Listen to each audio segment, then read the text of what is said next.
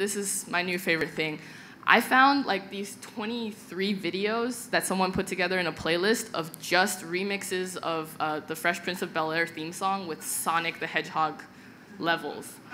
And it's like not only incredibly like why, but you know the fact is, I think the interesting thing is there's 23 of them. A lot of them have tons of views.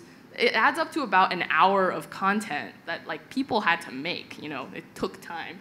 Um, and also, I took this random screenshot yesterday on the train as I was throwing this together, and it was last updated 43 seconds before I took the screenshot.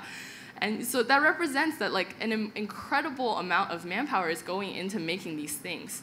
Um, so the energy and the drive to create things for the community is definitely there. You know, it's, it's a community that loves to sort of interact with itself.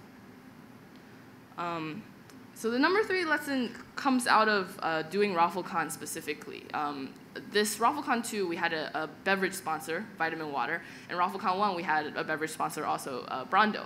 They did exactly the same thing. They brought their products, um, they didn't give us any money, they just gave out their products for free. Um, and we noticed something very interestingly different between the, the two experiences. So you know, for vitamin water, it was definitely popular because it's the free drink available at the conference and people like vitamin water. So it was consumed in large, large amounts. You could find these bottles everywhere. Um, so sort of as a viral marketing campaign that worked. But if you go on Flickr, for example, and you type in vitamin water ROFLCon, the only things you get are from the vitamin water Flickr account of like random speakers with a bottle of smart water in, in front of them, you know, which is not as good of a result when it comes to viral marketing. Now, the first year we had Brawndo. And, and granted, Brawndo is a product that came out of uh, Idiocracy, this movie. So it already sort of had a backstory.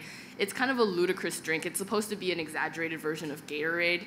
So the, the, um, the slogan is the thirst mutilator. And in the movie, uh, the, everyone is watering plants with it because they, they've managed to convince people that like electrolytes is everything that plants need.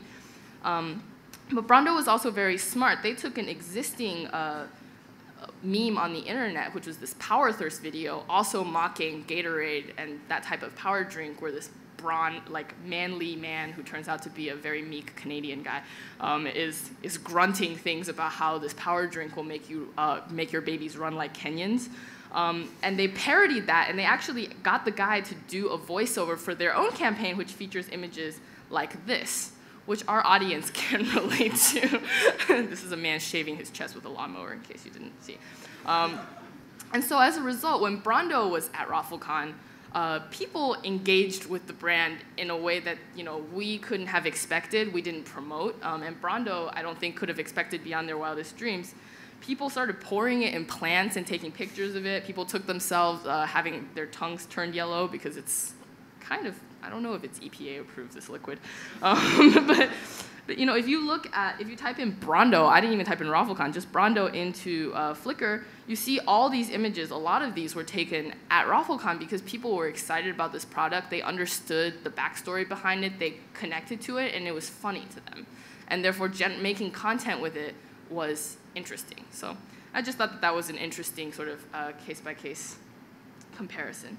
Um, another thing that we noticed was interesting is uh, a lot of the, the memes that we've invited to ROFLCon uh, get sponsored, but the ones that are really successful uh, in the end is when the company hires not the joke, but the people who make the joke.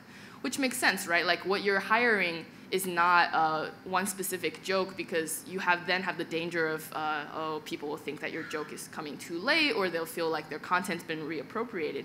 But if you actually hire the people who make the interesting content, then that gets you their like, you know, built-in audience, and uh, it, it gets you their sort of unquantifiable ability to tap into what people are interested in. So two good examples of this are, you know, Leeroy Jenkins, who's a famous World of Warcraft meme, uh, basically for messing up. he messes up in a very spectacular way. But on the top there, he's being invited to speak at uh, BlizzardCon.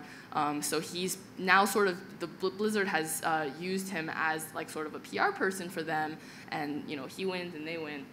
And the second one, uh, Red versus Blue, which is a machinima show uh, based on Halo. Halo has actually, you know, it was started as an unauthorized thing where they were making these movies using the Halo engine.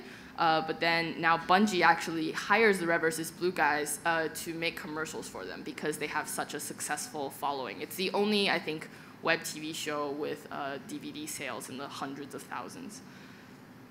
Yeah, and you know, let them make the decisions. You know, we, we've also seen cases where people have hired the, the talent and then not given them creative control, and that just crashes and burns. And sort of the last thing, and I think the most important point, is when you're dealing with the internet, don't expect to not be trolled. Trolling is when people sort of, you know, haze you. Uh, this is unstoppable. it's just completely, like, you can't prevent it, but at the same time, it's also completely neutral. So it's a platform, really. um, for example, uh, this is a very famous thing that just happened less than a month ago. Uh, people who, Activision, which makes the video game Call of Duty, noticed that a lot of 4chan people were making fun of Call of Duty, and that might have been one of the reasons for why it didn't sell as well. So a very well-meaning Activision sales representative um, posted this lovely note on top that says, you know, we don't understand why you don't like it. We added this party mode. Could you just tell us what's wrong? And I think in traditional marketing terms, that's seen as a good move. Like you're engaging with the audience. That's great. Oh wait, your audience is crazy. Um, so what happened, and this is again a screenshot from something that's much, much longer, the first person posts back, sort of as a joke, there were no dinosaurs. Every single comment in this thread for, for like a whole day involves why there aren't dinosaurs. So like you can see, dinosaurs are a big selling point to games these days. I agree, it lacks dinosaurs, no dinosaurs. Mario games have dinosaurs, Call of Duty doesn't. That sums it up for you, Activision. A lack of velociraptors. Later on, there were people who were like, oh, I thought this game had dinosaurs, but now I now that I've heard they don't, I'm not gonna buy it. but it, it just went, it was amazing to see hundreds of people who didn't know each other, hadn't planned this, just see this thread going and keep it going. Right? The momentum is crazy, and as a result, Activision, you know, just threw their hands up. If I were them, I would put dinosaurs in the next one, you know. Um, so how do you deal with this as a marketer, or even as, you know, for us, we come from the internet, we're one of them, but you know, they, we still knew that the trolling was inevitable. Um, so the only way you can do this is to sort of be like Bruce Lee Kitty here, um, and, and you have to like redirect the force back at them. so the only way that you can feed the trolls um, is with more trolling. So here's an example of uh, uh, this group of anonymous people from 4chan always come to all the ROFLCon events, and their, their intent is always to like troll the crap out of us and scare us and whatever. And, you know, they're like little boys, so we're not that scared. But um, for the first ROFLCon, they stormed the stage with this boombox and like try to do this little dance to throw things, you know, off the rails.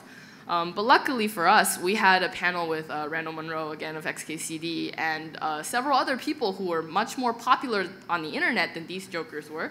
And so Randall Munroe drew, drew a comic of them failing and then wrote, that sucked. And that worked so well. I mean, we didn't have to do anything. they pretty much just sort of like put their heads down and went back into the seats. And you know, for future ROFLCon events, we've done things like we put Leeroy Jenkins, who is someone who's very famous on the internet for being a, a crazy, aggressive person, basically. We had him do our security. He's actually a very nice guy. Um, but you know, that makes the troll say like, we understand where you are, and the rest of the people watching it, instead of thinking, oh, these trolls are being funny, we're gonna jump in on what they're doing, they sort of think like, awesome comeback, right? And then they're on your side. So that's how you win. Alexis? Laptop swap.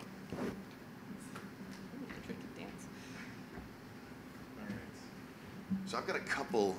This, this segues really nicely because if there's a lesson that I, I, hope you all have learned by now, it's that unfortunately, although everyone wants to make some huge organic thing, you can't actually create organic because that's against the definition of something that is organic. Fine, all right, we'll live with that. But you want to be ready for all those opportunities uh, because presumably there are brands out there who can seize these kinds of moments when that random internet zeitgeist is saying, you know, put more dinosaurs in the next game.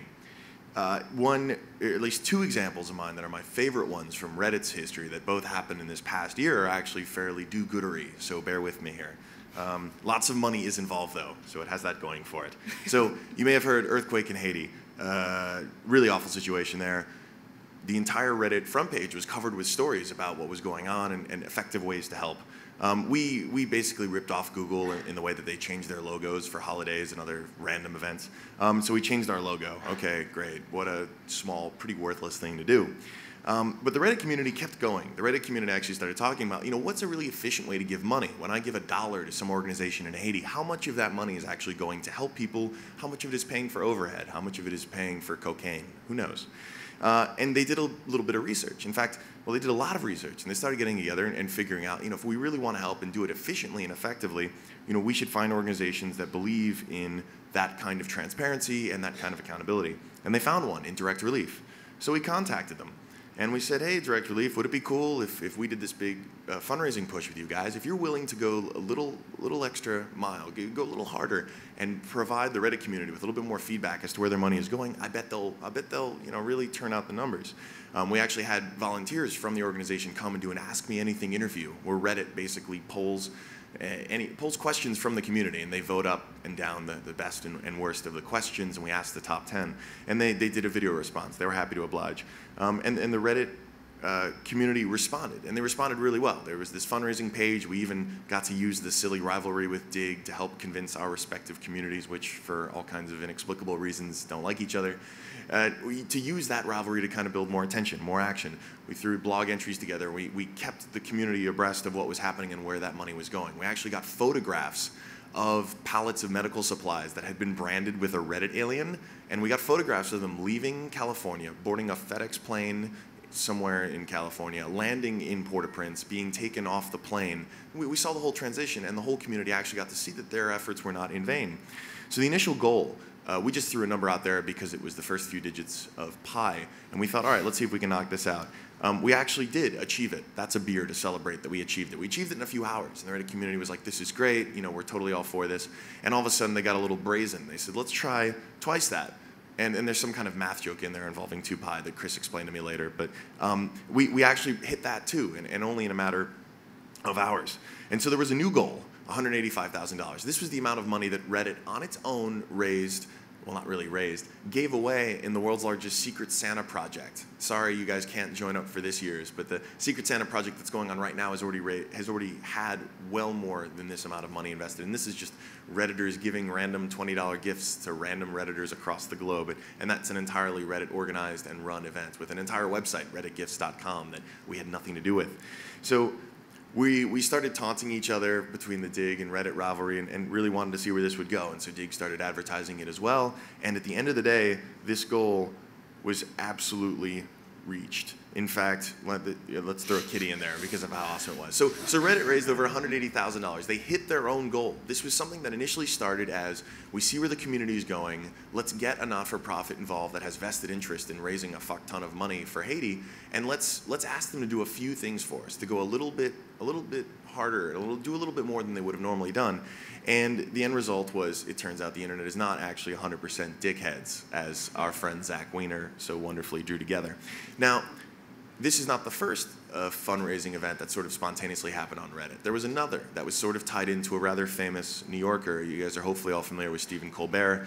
Here he is parodying a man named Glenn Beck, who you may have heard held a rally coincidentally, on the same day as the famous Dr. King I Have a Dream speech in DC, it was the Rally to Restore Honor, which I think was deliberately ironic, but I'm not sure.